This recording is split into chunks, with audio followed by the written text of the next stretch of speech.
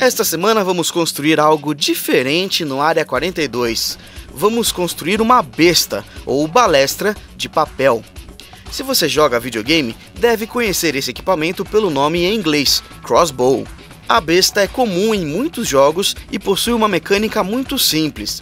Trata-se de uma arma com um corpo semelhante a uma espingarda, no caso das maiores, ou de uma pistola, no caso das menores. Ambos os modelos possuem um arco na ponta, na horizontal.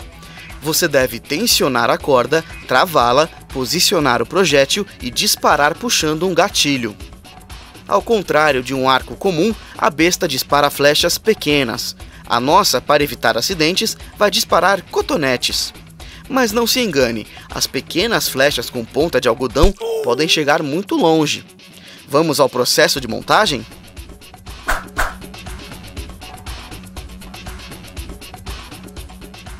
Os materiais são 10 folhas de papel sulfite, 4 elásticos, um grampo de papel, um grampo de roupa também pode ser utilizado, palitos de sorvete, palitos de churrasco, fita adesiva, uma caneta marca-textos e um lápis, cotonetes. O primeiro passo é separar cinco folhas de papel sulfite. Vamos posicionar todas elas juntas, bem alinhadas. Logo, dobramos ao meio de comprido. Depois, cortamos com uma tesoura bem no centro. Em seguida, pegamos a primeira das duas metades e enrolamos em volta de um lápis e prendemos com fita adesiva. O segundo deve seguir o mesmo procedimento. Assim, teremos dois rolos de papel do mesmo tamanho. As cinco folhas restantes também devem ser enroladas em volta do lápis, mas dessa vez não será preciso cortar na metade.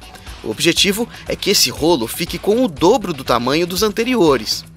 Agora pegamos dois palitos de sorvete e enfiamos dentro do rolo de papel menor, deixando um pouco mais da metade deles para fora. Em seguida, dobramos o tubo na metade.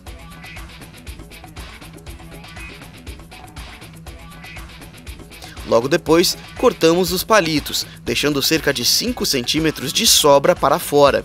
Veja como ficou. O outro rolo de papel deve seguir o mesmo procedimento. Colocamos os palitos, dobramos e cortamos. O próximo passo é prender os tubos menores, que agora formam as duas partes do arco da nossa besta, no rolo maior. Posicionamos os dois na lateral do tubo maior, apertamos bem e aplicamos uma boa quantidade de fita adesiva. Agora vamos pegar a caneta marca-textos e desmontar. Fazemos isso removendo a tampa de trás e o tubo de tinta de dentro dela. A parte da frente precisa ser cortada para que o cilindro fique uniforme. O tubo deve ficar preso bem na frente, no centro do arco. O próximo passo é fazer um trilho que vai servir para guiar o projétil até o tubo.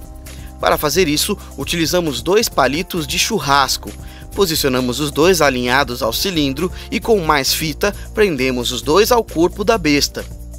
Depois de prender os dois palitos, cortamos a sobra da parte de trás e prendemos as duas partes paralelamente aos dois primeiros, na ponta de trás do corpo da nossa besta. Mais um tanto de fita adesiva para fixar tudo e pronto. Agora, com um estilete, tiramos algumas lascas das pontas do arco. Fazemos isso para fixar os elásticos com mais facilidade, evitando que eles deslizem durante o disparo do projétil. Para prender os elásticos, vamos fazer um nó direito. Quem foi ou é escoteiro pescador conhece esse nó que é utilizado, geralmente, para emendar cordas. O procedimento é simples. Pegamos o primeiro elástico e passamos metade por dentro do outro. Em seguida, puxamos a segunda metade pelo outro lado o nó está pronto. Veja na imagem. Nós podemos fazer esse procedimento tanto com um par de cada vez, como com os dois pares de elásticos ao mesmo tempo. O importante é manter tudo muito bem preso e firme. Agora vamos prender os elásticos nas pontas do arco. O nó é assim. Coloque o indicador e o polegar dentro do laço faça um gesto inverso com os dedos, virando eles para baixo e empurrando o laço contra ele mesmo. Com os dedos, puxe a parte de dentro do laço.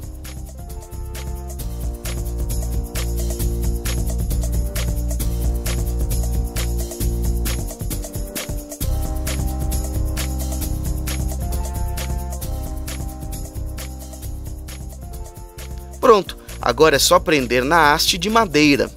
O segundo lado deve seguir o mesmo procedimento.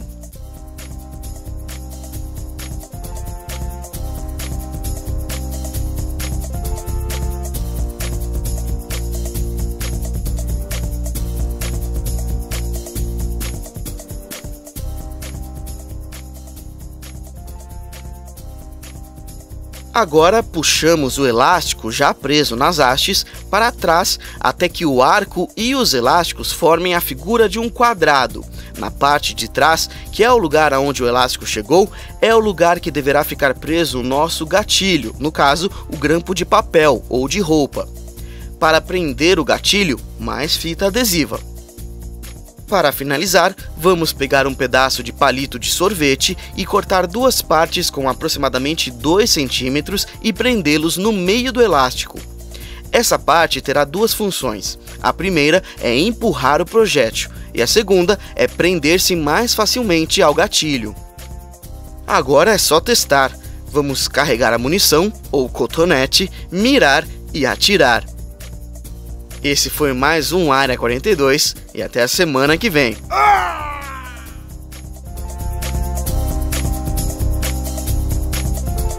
Ei, não se esqueça de clicar no botão para se inscrever em nosso canal.